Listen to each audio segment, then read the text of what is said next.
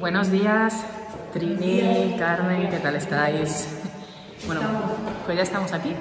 Estamos en el Museo de Almargen, un pequeño museo con grandes tesoros, historias, leyendas. Vamos a ir pasando eh, para que podáis disfrutar de lo que podéis venir a visitar. Os invitamos a que vengáis y estamos con dos personas que tienen mucho conocimiento de la zona. Está Trini, que tiene conocimiento sobre todo eh, en investigación, ha investigado sobre la historia de, de Almargen y ha escrito un libro, un libro que tenemos. Y Carmen, Carmen que conoce muchísimo, ¿verdad? Porque eh, Carmen, bueno, nos cuentas un poquito, eres de aquí, de Almargen, pero has estado yendo Eh, fuera. Soy de aquí, eh, soy de aquí y me fui con 14 años de aquí y ahora tengo 71 y he vuelto otra vez aquí. Pero al margen porque está... en su corazón. Ya me voy por el sentimental. Dice que el ser humano siempre vuelve a los viejos lugares donde amó la vida y por eso ha vuelto. Bien, y de hecho eh, tu libro hace referente, ¿no? Hace una referencia a la historia también para que eh, las personas que tenemos familia o hemos tenido familia, como es mi caso aquí, abramos un libro mágico para mí y me teletransporte a una época que no he podido conocer, pero que estoy muy agradecida que me contéis, porque para mí es remover eh, las emociones, pero también equilibrarlas y además invitar que la gente mm, visite los pueblos de España, vean la historia y vean lo que han luchado tanto las mujeres como los hombres por sacar en adelante ciertas, eh, ciertos patrimonios o, o los tesoros ¿no? que, se, que se encuentran de, de diferentes épocas, porque yo no pensaría en ningún momento que, que se han encontrado eh, estas maravillas ¿no? Eh, en la montaña o, o- o en esta zona. Vamos a empezar si queréis, vamos a ir por orden, por el orden que nos comentes, Trini, porque no sé por dónde deberíamos empezar. Y va- nos vas comentando un poquito, nos vas contando. En realidad hay un recorrido cronológico que empieza con las piezas más antiguas que son del Paleolítico Superior hace 30.000 años y llegan hasta la Edad Media. Es una sala pequeñita, pero sí que están representadas casi todas las culturas por eso tiene bastante interés. Y después hay tres piezas que sí que son muy importantes, son piezas prácticamente únicas, en especial una. Y ya no sé si quieres que, que empecemos por el principio con un recorrido cronológico. Pues sería interesante, yo creo que sí, ¿no? Empezamos desde las raíces para llegar al presente.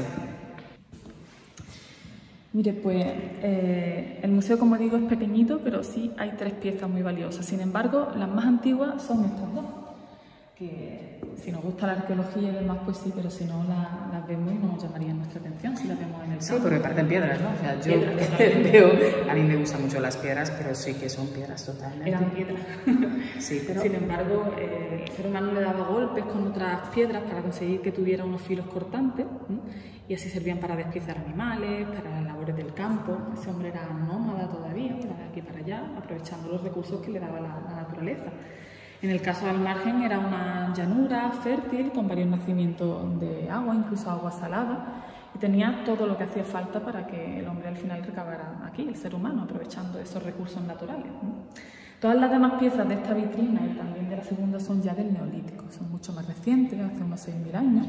Ese hombre ya tenía agricultura, ganadería y empezó a fabricar herramientas que cada vez eran más pequeñitas, cada una tenía una función concreta. ¿no?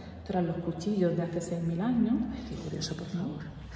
Veremos hasta los dientecitos pequeños, como Ay, los sí. nuestros. ¿eh? O las raederas, que serían para trabajar las pieles de los animales. ¿eh? Tenían cerámica que hacían a mano, no conocían el torno. ¿eh? Son estos algunos restos de esa época. En ella guardaban las semillas, los cereales. Y en los molinos, morteros, molederas, pues con estas piedras grandes de moler, trituraban esos cereales, sacaban la harina. Por supuesto, desde hacía mucho tiempo hacían algo parecido al pan, no sabemos cómo le salía, pero lo hacían, ¿eh? Qué gracioso el mortero. Trabajaban la tierra, cultivaban, no es tan diferente a los nuestros. No, no, no, para nada. O sea, si, si podéis observar, eh, es que además, en absoluto, hemos hecho una réplica un poco más estética Sí, y pero, punto. eh, funcionalmente eh, similar. ¿no? Y la segunda vitrina, pues ya digo, son las piezas a partir del, del neolítico. En ese momento el hombre empieza a pulir sus herramientas con otras piedras más duras, como alijar, y así conseguía estos filos cortantes de las hachas, que después enmangaban. Tenían un palo de madera, las ataban con una cuerda y ya estaban listas para emplearlas en el campo. O las azuelas también iban enmangadas. Y cuando cazaban animales, pues lógicamente lo aprovechaban todo, las carnes, las pieles, para cubrirse y con los huesos, estos son de conejo, por ejemplo los perforaban y hacían un pequeño agujerito y con una cuerdecita que podía ser el tallo de una planta o cualquier otra cosa, pues se los colgaban como collares, como adornos personales. O con caracolas o cualquier hueso, algo que ellos pensaran que estéticamente merecía la, pena, pero sí que tenían como nosotros esa necesidad de, adornarse, de avalorio, no somos tan diferentes. Sí, adaptándonos, se adaptaban a la naturaleza, evidentemente a lo que había, y decoraban estéticamente increíble. Y aquí tenemos, ¿a quién tenemos? lo que Presenta. Sí, sí. aquí quién es este hombre o esta mujer. Era una chica. Era una chica. Era una chica. Era una chica joven. Podía tener 15, 16, 17 años cuando, cuando murió. No tan joven como ahora, con esa edad, porque han pasado 4.000 años de su muerte y en aquel tiempo la esperanza de vida era mucho más corta. La gente a lo mejor pues, con 30, 40 aproximadamente eran ancianos, no vivían mucho más. Físicamente es igual que nosotros, es nuestra especie, es el Homo sapiens, somos nosotros mismos.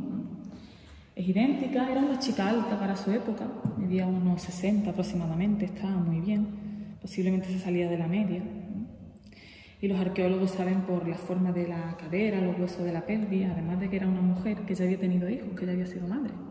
Con esa edad. Con esa edad. Pero eso sería lo habitual, porque es que el ritmo de la vida era muy diferente, era todo mucho más acelerado que ahora. Estos niños con 7, 8 años estaban ya trabajando en el campo con la familia, ayudando en las labores agropecuarias, con 15 y 16 eran padres y madres, y pues eso, no creo que llegaran muchos a, a los 50, eran ancianos, así que ¿Dónde se encuentran estos, estos restos? Nosotros lo encontramos en una cueva pequeñita, a las afueras del pueblo. Eh, a veces ellos enterraban fuera de las cuevas, no sabemos exactamente si fue el caso de estos restos, y, pero sí que está demostrado en algunas cuevas de los alrededores y demás, especialmente de Ardales.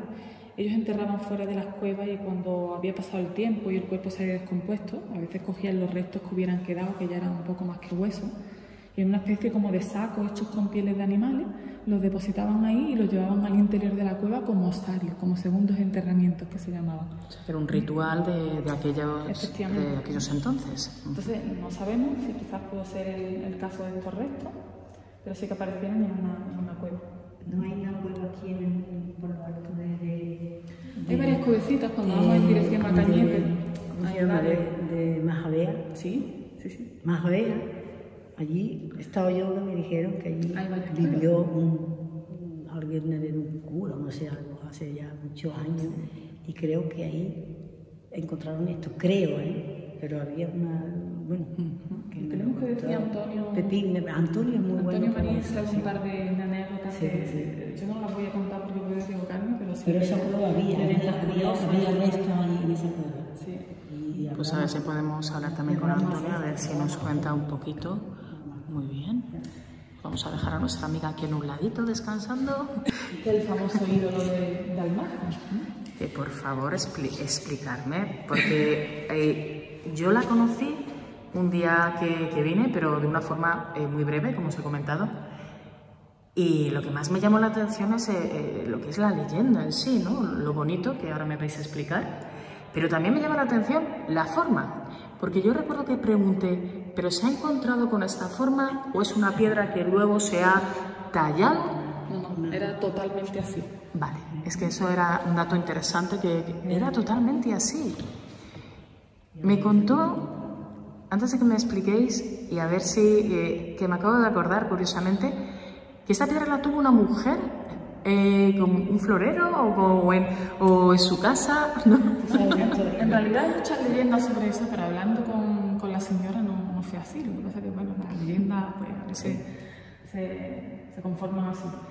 En realidad, eh, esto lo encuentran un día durante la cimentación de una vivienda que estaban construyendo a las afueras del pueblo. En aquel tiempo estaba justo en el límite entre el casco urbano y, y las afueras. ¿no? Entonces, quiero recordar que sí, era la propia familia la que en su solar construía la que iba a ser la casa de su hijo o algo así. ¿no? Y ellos, pues, aunque no entendían para nada de arqueología, al verlo la vieron igual que esta hoy. Igual, o sea, no se lavó porque Sí, yo- claro, eh, estaba sí, sucia, pero que se diferenciaba. No está restaurada, era así. Es que no es está increíble. pulida, no está... Es increíble. Entonces, pues obviamente le llamó la atención, dijeron, esto debe ser algo, la, la conservamos. Y la dejaron en su patio allí durante algún tiempo decorando, pero no le dieron otra, otra función. Y este hombre publica que, que esto era un dios, un ídolo para la fertilidad la gente que vivía aquí, pero hace todo ese tiempo, 4.500, 5.000 años. La fertilidad no entendida como la vemos hoy, la fertilidad humana, la fertilidad del campo, la tierra, la naturaleza, para la lluvia, para la producción, para la prosperidad.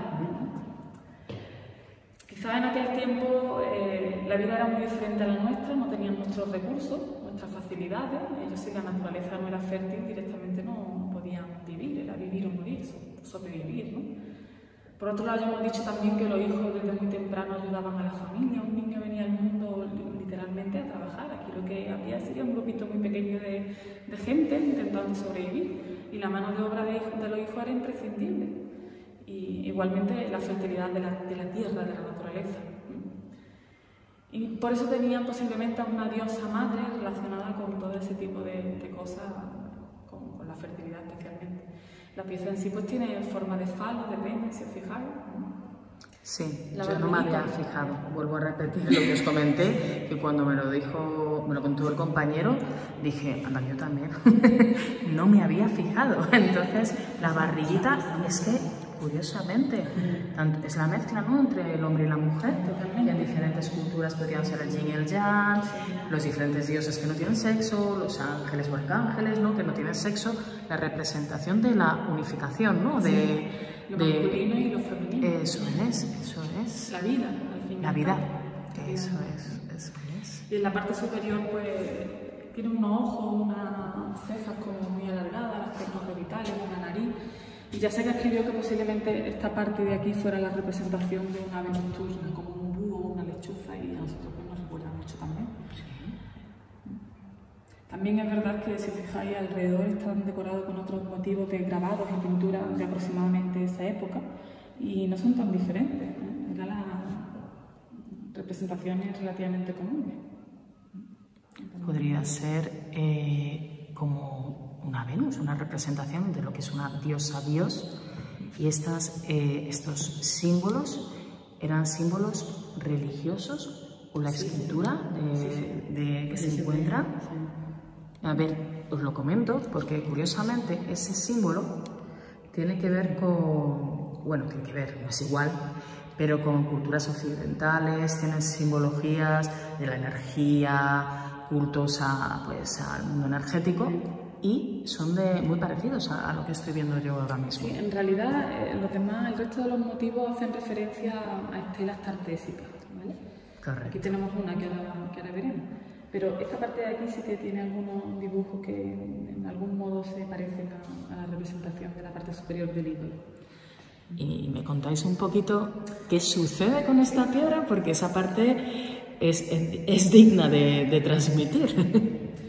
Bueno, pues lo que sucede es que familia termina, cuando se estudia, termina cediendo la pieza al ayuntamiento. Y, allí empieza a venir la, gente a verla, cuando se había estudiado y se conocía que era durante la, prehistoria.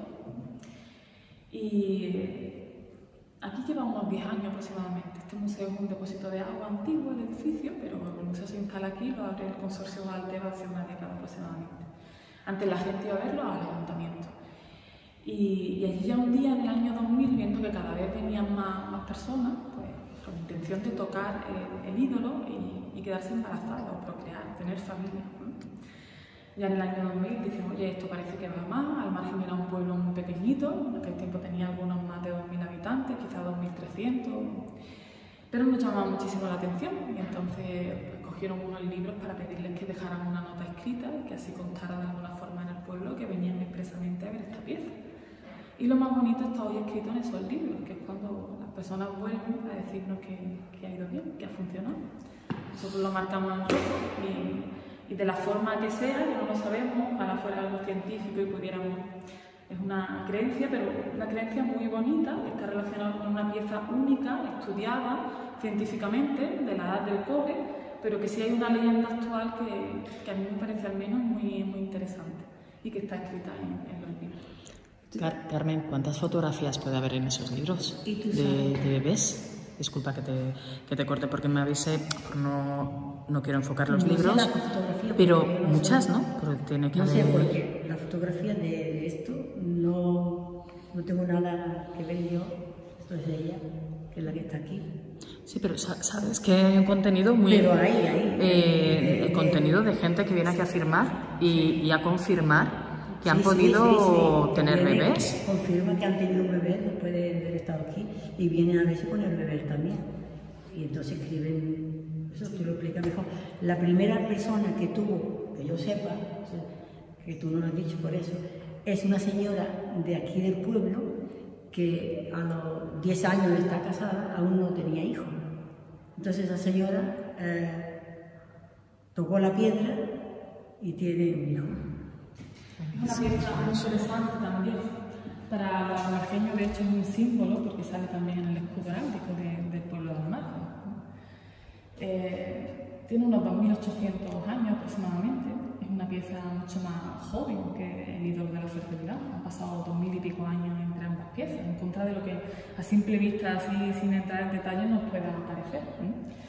Eh, lo que se ha pensado siempre de esta estela en Andalucía y especialmente también en el sur de Extremadura, eh, han aparecido unas 40, es de la época de los tartesos.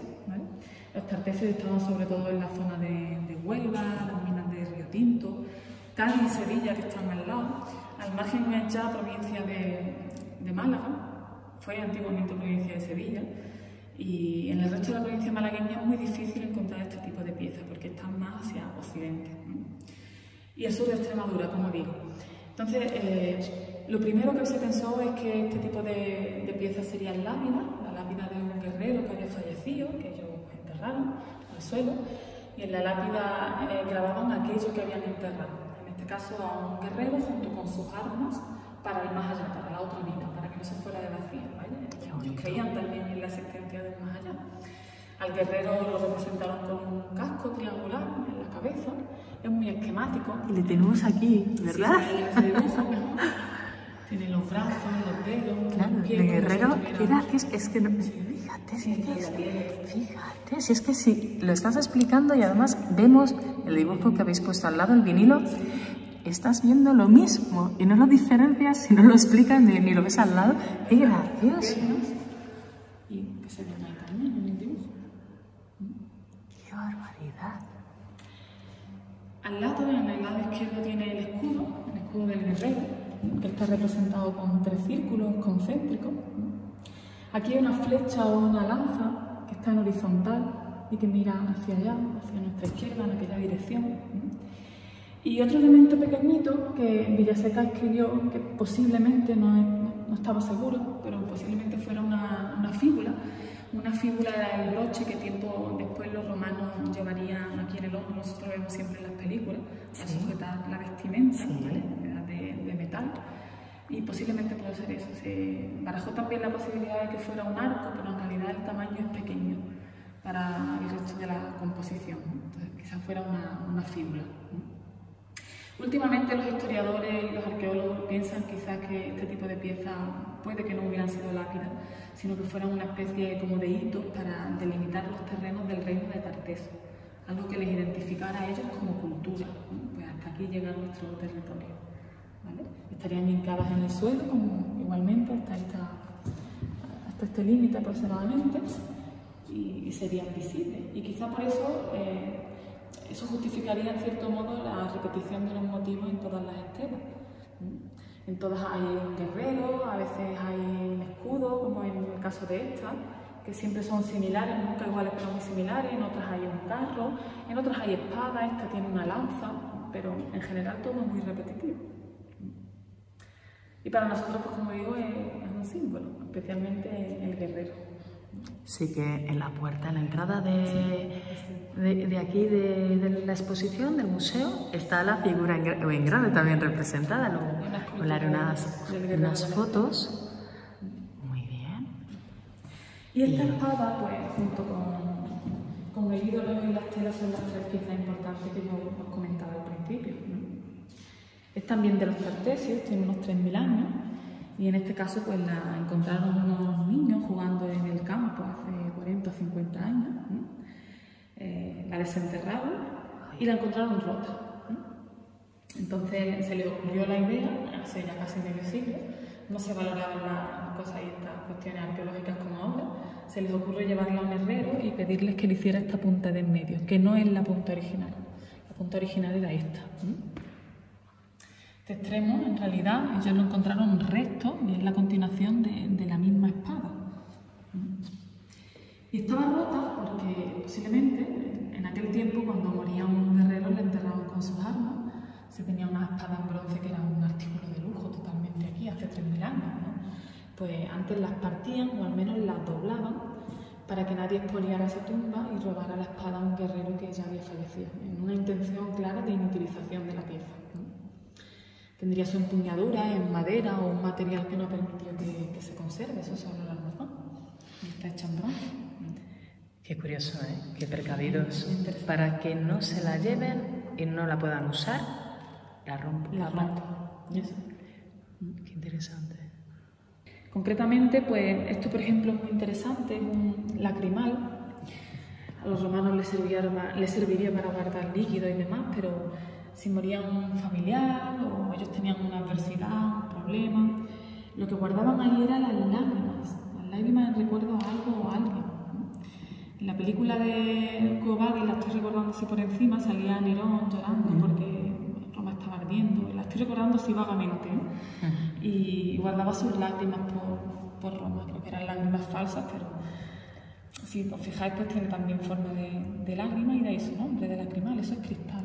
Te, iba a preguntar ahora el, material, porque claro, la lágrima, ¿sabes? ¿Habéis investigado si ponían alguna base para conservar? Porque claro, la, la lágrima se deshidrata. Sí, o sea, quedaría la parte salina ¿no? de, de la lágrima que quizás era lo que se quedaba o colocaban alguna base. No, no, no, lo sé, ¿no? No, no lo sabéis, no lo sabéis. Yo creo que sería algo más bien simbólico. Sí. En recuerdo a algo. Sí, como que recoger ¿no? esa, esa, pena, y llevarla siempre. El, ¿Por qué es tan brillante? ¿Está lacado? ¿Sabes si es algún tipo de pintura o...? No, policromado sí que no está y es el material simplemente sí, el sí. Bueno, ahí eh, hay una parte de la luz de la urna, pero sí que ahí es muy parecida a a las láminas de ciertos minerales, lo que está incrustado, que a lo mejor es por la incrustación, evidentemente. Por el trabajo, imagino. Sí, porque además es elegante, es, es, fina, ¿eh? Es muy bonita, es muy bonita. Y es un milagro que se haya conservado. Sí, sí. madre mía, sí, un cristal. Qué y esta figurita pues también es, muy interesante. Esta a mí me parece, mira que es simple, pero me parece preciosa que veo el cabello rosa sí, o Si se ve como rosa, está policromada, yo pienso que lo que vemos hoy es una base que tenía esa pigmentación. Ah, claro, claro. ¿Y a quién representa? ¿Habéis descubierto? a ver, está estudiada y posiblemente quizás requeriría también mejores estudios porque la pieza lo, lo vale. Mm, posiblemente fuera una, una, urna, los romanos ya incineraban después de, de, la muerte y quizá había muerto una chica, una chica joven, guapa, y ellos eligieron la figurita de una diosa romana que tiene esa pose para contener ahí parte de la ceniza. Eso está hueco al interior y por la espalda tiene un agujerito. y lo puedo creer, como las urnas de las cenizas. Algo, algo parecido. Pero qué bonito. Algo parecido. Así lo tenemos expuesto y yo insisto en que pienso que la pieza merece un estudio más Creo que en pormenorizado. Precioso. Creo que hay en grande. Así. Más grande, ¿no? Sí. No, me, eh, no pensaría que estaba hueca, o sea, el, el significado del uso, yo lo veo es una figura, pero me Independientemente ya del uso, está hueca en su interior y tiene un agujerito por la espalda. Posiblemente en la práctica pertenecieran a uno de los castillos de, de la zona. Al margen fue justo a continuación empezó una vinculación con, con Teba, con el condado de Teba, y fue una pedanía de Teba hasta hace 200 años. Así que puede que, que en aquel tiempo esta gente que habitaba aquí también perteneciera del castillo, al castillo de la estrella de Teba. Aquí, Carmen, están los libros, ¿no? Mientras Trini está Sí, sí, viendo, porque- porque ella lo sabe- está buscando. sabe- ¿Pero, sabe- ¿Esos son los libros de firmas? Todo esto. Diez. Más grandes.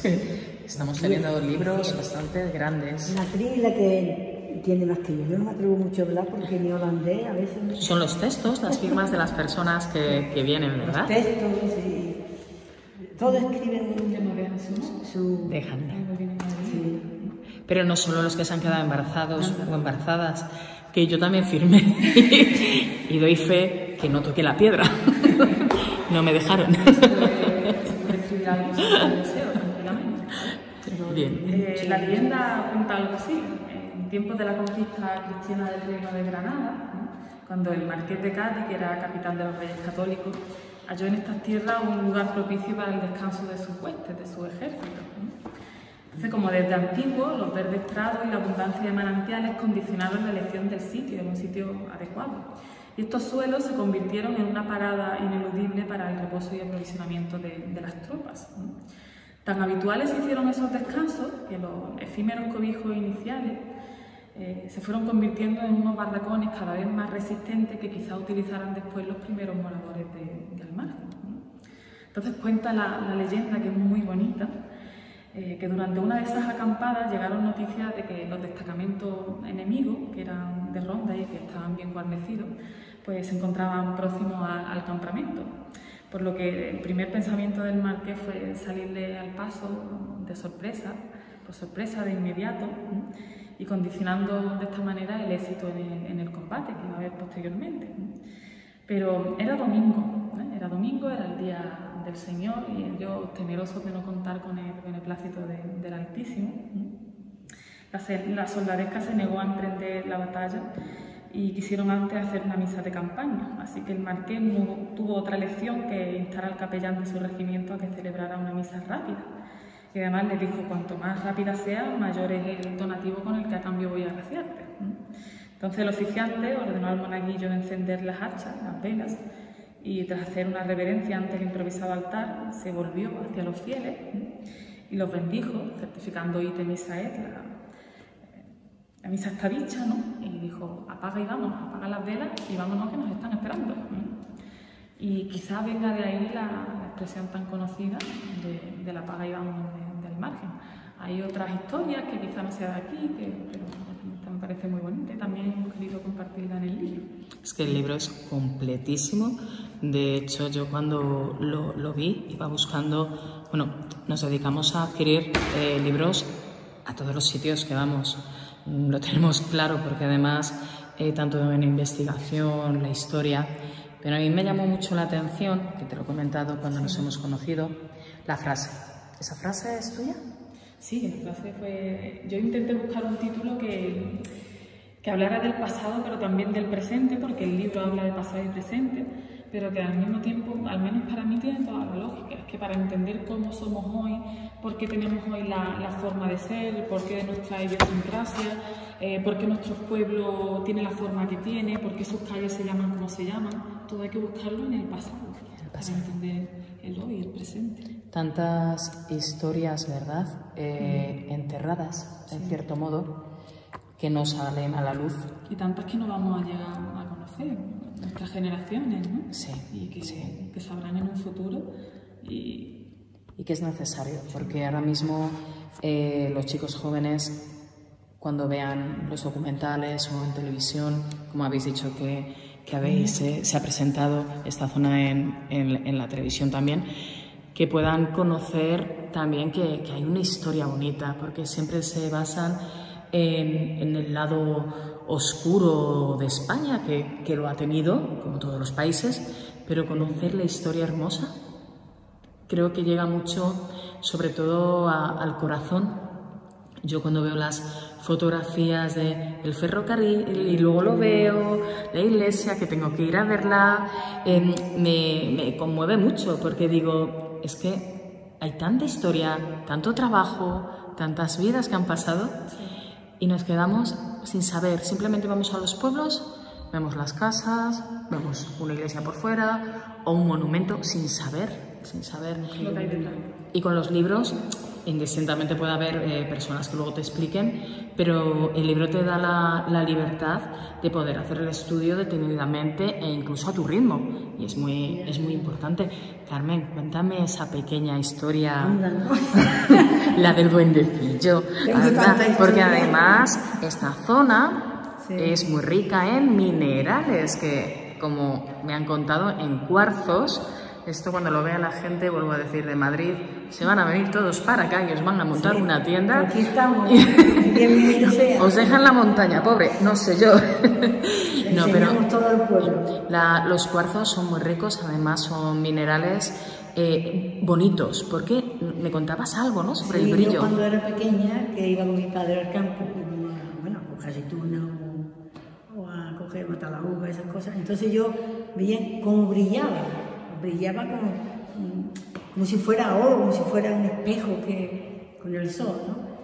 Y yo cogía los trocitos y a veces lo había más grande más, y, y yo flipaba porque decía, ¿cómo puede ser que, que, que brillen tanto? Que brille tanto una, una piedra, ¿no? Porque Sí, pensarías, esa piedra, piedra, porque tiene... Como, como chino, o sea, Claro. que iba, va- ibas andando y iba brillando, el suelo es que brillaba todo.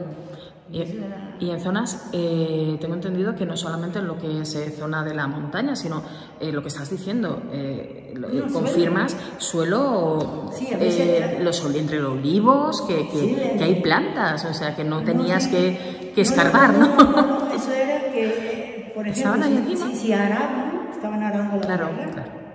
lo estabas viendo, o sea, que, Qué que bonito. estaba entre la tierra, estaba entre, eh, cuando subía por una montaña, o, es, que, es que brillaba. Pensaríais que eran, que eran zonas mágicas, ¿no? Cu- Cuando uno es niño y ve esas cositas tan bonitas, ¿verdad? Para, mía, para la pues, imaginación. ¿qué es eso? Bueno, hay tantas cosas, yo he visto tantas cosas en el campo porque siempre he estado en el campo. Mi madre o mi padre nos llevaba, éramos siete, y yo me parece que tendría seis años cuando me llevaban. Y, y ayudábamos, con seis años, siete años, hasta los 14 estuve en el campo, me encantaba. Y bueno, la tinaja que tenemos aquí en la falda de la sierra, en la parte del Almirón, esas tinajas, cuando yo me enteré que la habían descubierto, por lo único que pensé, bueno, si eso lo descubierto yo cuando era chica, Claro, eh, porque- pasa- estaba, iba por allí mucho porque vivíamos en el Almirón y yo veía aquello, solamente que había otras que estaban eh, tapadas, que se ve que después al descubrirlas han descubierto más. Yo vi a dos, me parece, o tres, pero Es una necrópolis de, de la edad del cobre, aproximadamente de la del ídolo también. Una necrópolis que después en la Edad Media posiblemente fue reutilizada como alfar, que era un obrador de, alfarero. ¿no? Y claro, al principio... Claro, Carmen diría, pero si eso lo conozco yo de hace tiempo y ahora me vienen diciendo que eso es, es algo histórico. Que pero lo conocía, antes se usaba para que Claro. Trini, pero yo lo conocí que echaban la, la- Vivía ahí enfrente sí, pero que echaban también la, la oveja o las cabras que se morían, pues iban allí, que a mí me daba susto también a veces, porque a veces había unas cabras y, y eso lo hacían. La fotografía de, de- de esas tinajas, tanto otras fotografías, las podemos encontrar en el libro. Las fotografías son cedidas, las habéis realizado vosotros, desde alguien en especial. Pues en el caso de, de las tinajas concretamente, como le conocemos aquí, son de Fernando Villaseca, que estudió un poco en los años 90 la, la necrópolis. Y son fotos de, aquella época y son de, de Fernando Villaseca. Buenas fotos, además que es súper bonitas, cómo se puede recopilar tantos datos, ¿verdad? Y muy buenas fotografías. Y para terminar, algo místico, Carmen. La historia del duende que te la he preguntado y no me la has contado. Y la de la callecita, de esa que subía y bajaba que veían a alguien, ¿no? La historia que acabas Ah, de la contar. Calle, la calle Sí. La Cañada, yo creo que, la gente que, bueno, Sí, sabe Cuando yo era pequeña decían que había mujeres que se sentaban a coser y, o al fresco, ahora no estoy de esto, pero sí que había que... Y entonces veían como una persona salía de la carpintería, que está en medio de la calle, de la cañada, y bajaba para abajo y se perdía al final de la calle. Eso era uno de los que... Esto. Otra era de mi propia casa. Esa cuéntala, por favor, porque es muy curiosa y más en zona de montaña, ¿no? Para que los niños cuando la oigan le apetezca ver el duende. Hemos quedado que se llama duende. Pero cuando yo era pequeña, pues, tenía miedo. O sea, tenía miedo. Y mi padre, mi madre me, puso entre medio de mi padre y de ella. Entonces, pues dormía con ellos, ¿no? Y una de las noches, mm, yo creo que vi a esa persona, la había visto antes. Entonces, por eso yo creo que era el miedo, no sé, no sé cómo, de una otra manera. Y entonces, cuando ellos estaban roncando, durmiendo, pero yo estaba con los ojos como plato. Y entonces vi como una persona, era como un enano, y a los pies de la cama vi yo una luz como el, cigarro, es, que lo vi, es que, que, era el cigarro que se encendía cuando uno chupa y el humo. Entonces se perdía a, la izquierda, o sea, entraba por la derecha, donde estaba la entrada de la, de, la, habitación, y se perdía en el rincón, en la izquierda. Y yo se lo decía a mi madre, decía que, que, no, o sea, que decía, estás loca. La imaginación de un niño. Y yo me, los, pelos los tengo de punta. Y entonces, pues claro, ya al final lo que yo hacía es que estaba deseando, que yo misma hacía así con la sábana, esperando para verlo para verlo. Y no, no lo veía siempre. No lo veía siempre. A veces sí, pero mm, no lo veía siempre. Eso estoy, me acuerdo yo que, que, a veces lo esperaba, lo esperaba y me quedaría dormida. Yo sé, no lo vi. Y después, más tarde, ya me dijo mi madre, ya viviendo en, Barcelona, bueno, en Cataluña, me dijo que era verdad. O sea, que no me quiso decir nunca que, que allí había algo. Había algo, ¿no? no había nadie que había entrado en la casa. Y había otra casa, otra casa, más arriba, que era de una señora y un jefe de estación que había, que no eran de aquí, eran de afuera. Y yo me llevaba de, bueno, para acompañarla, porque el marido dormía por la noche o estaba de jefe de estación y estaba de noche. Y yo para acompañarla. Bueno, y una mañana yo le hacía los mandados y una mañana yo me levanto, nos levantamos y voy a sacar la copa, que la copa esta de, que se tiene en la casa. Y, la voy, levanto la, la, enagua así, y ahora había como un, así de grande, debajo de la mesa, con mucho pelo, y yo vengo un chillido y me fui corriendo. Tiré la copa y me fui a mi casa. Dice que esa señora vino y ya yo no fui más a esa casa. O sea, yo, yo, he visto eso, sí, y ya la mujer venía a mi casa, por favor, que la Carmen, y yo, no, ya se fueron, ella se fue también de esa casa, no, sé si se fueron porque, pero yo vi una, una, cosa, casi como, como el enano, pero aquello era con mucho pelo. Y, bueno, que lo vi, que lo vi claro, que no era, que estaba, estaba despierta, que estaba o sea, que, no es que, estuviera como en la casa mía. Sí, que tenías. Y ya está, yo ya está la historia porque hay muchas. muchas.